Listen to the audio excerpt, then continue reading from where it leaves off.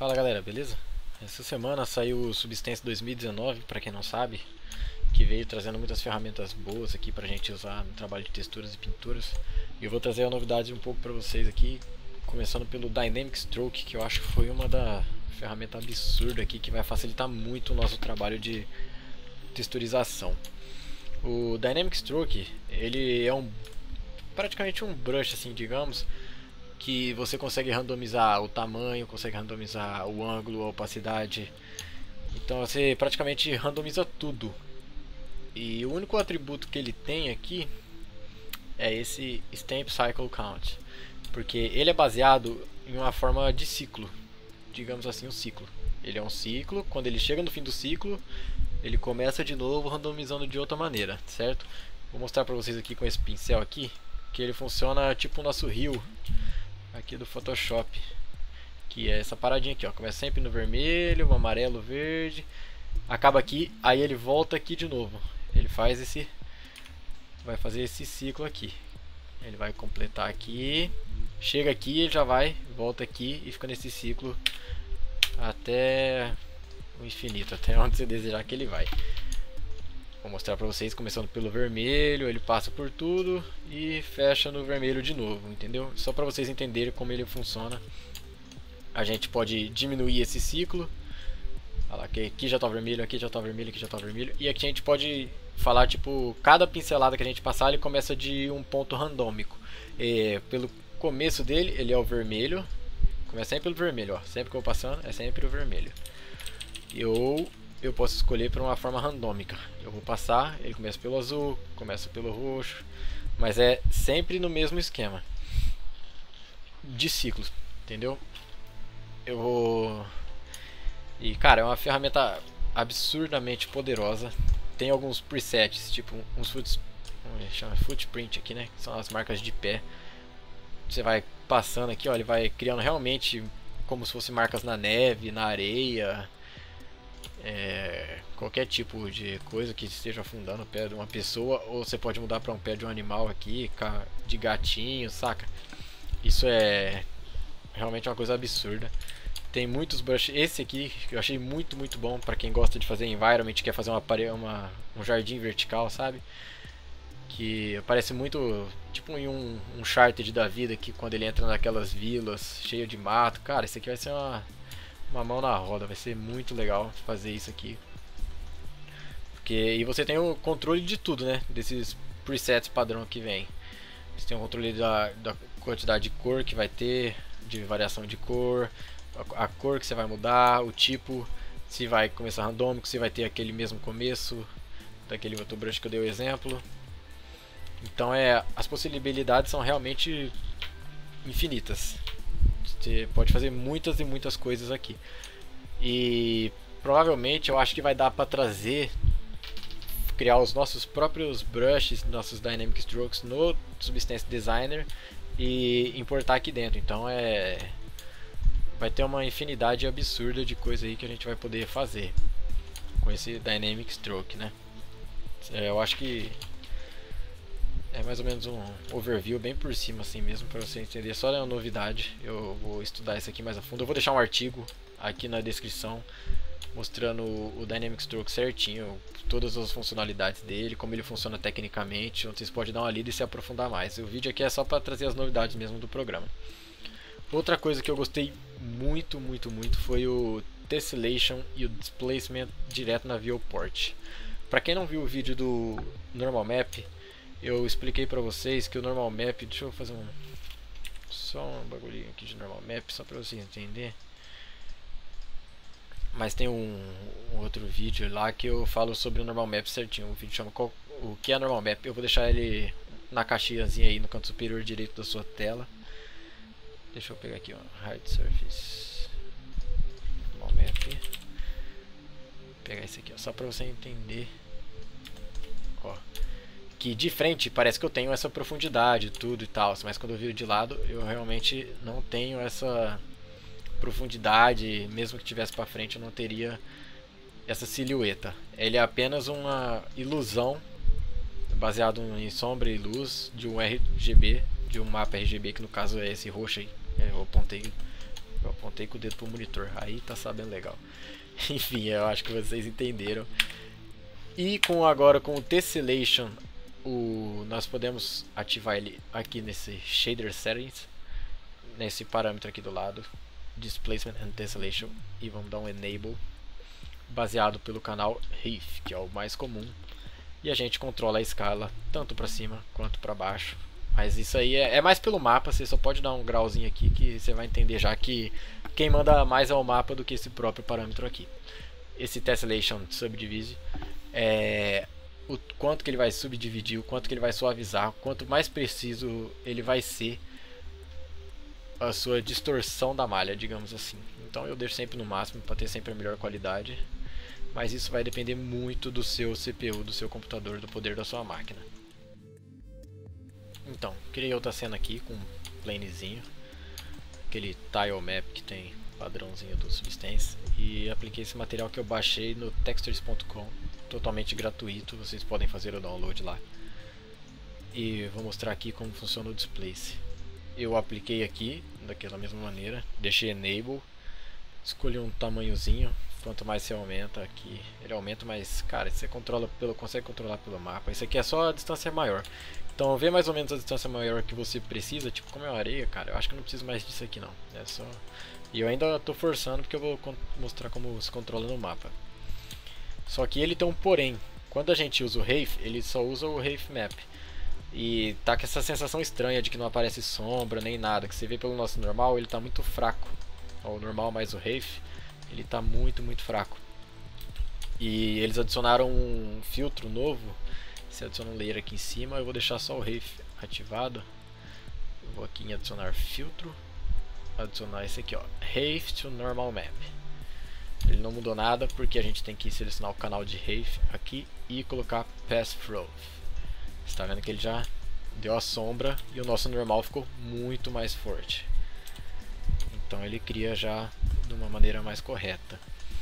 Vamos aí, depois que a gente aplicou o Rafe ou mesmo pintou, que a gente pode chegar aqui e pintar.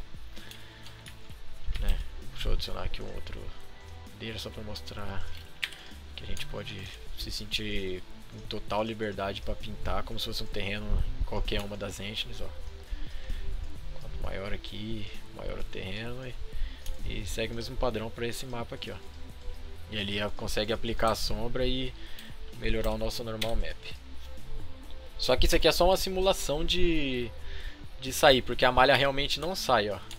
A malha é isso aqui, ele cria uma deformação na malha que acaba fazendo esse efeito de para cima ou para baixo, né? Aqui, ó. É a mesma, segue a mesma lógica. Então vamos voltar aqui para o nosso desertinho e vamos só abaixar a opacidade do nosso canal de Rafe até achar um ponto legal. Aqui já está ok, tá realistinha, tá bonitinho, como se realmente a areia tivesse sentada aqui. Então isso eu achei do caramba. A gente pode criar terrenos, é muito usado em pedras. A gente faz, sei lá, uma esfera como uma base mesh e sai pintando um mapa de Rafe para ela entrar para dentro ou sair para fora, óbvio. Então esse é um update que teve aí também no 2019. Outra coisa que foi adicionado no Substance 2019 foi o Compare Rave Map. Eu vou mostrar aqui, eu criei esse material na cena passada do deserto Vamos criar uma superfície de água, dando um exemplo de como se tivesse dado uma enxurrada e ficado várias poças de águas entre as dunas. A gente cria o layer e clica com o botão direito e a gente vai em Add Mask with Wave Combination. Ele vai dar esse parâmetro aqui e eu vou usar o Hardness no zero, que isso aqui, olhando nossa máscara, é tipo o contraste mesmo.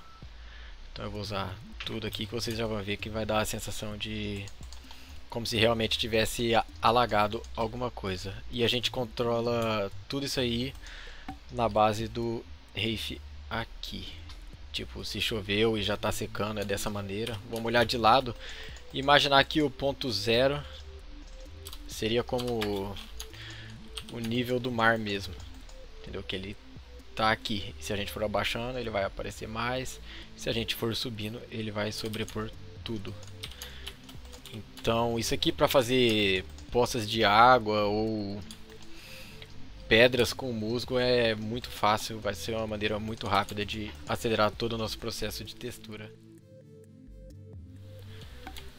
Outra ferramenta que foi adicionada aqui foi o, o projeção, ele teve um upgrade absurdo de você poder controlar tudo na viewport em real time. Antigamente eu fazia uma gambiarra no Photoshop e trazia pra cá como textura. Vou mostrar aqui um pouquinho rapidinho. vou adicionar uma black mask, dentro eu vou adicionar um fio. Ele vai dar esse aspecto aqui, eu vou selecionar um, pegar esse ossinho aqui. Vou mudar a projeção dele para planar projection. O spherical funciona mais para coisas esféricas, mas nesse caso vou usar o planar só para mostrar ele vai aparecer esse transforme, esse gizmo aqui, que a gente consegue escalonar, rotacionar e mover, que a gente vai ver tudo na viewport. Tudo que está dentro do quadrado, ele vai ser projetado. Essa parte já está meio opaca porque já está saindo fora do quadrado aqui, então a gente puxa um pouquinho para cá. Mas ele está repetindo e para ele não se repetir, é só alterar o parâmetro aqui em Shape Crop em Projection Cropped to Shape. Clicando aqui, ele tira toda a repetição de imagem que a gente tem e assim a gente pode projetar aonde a gente quiser.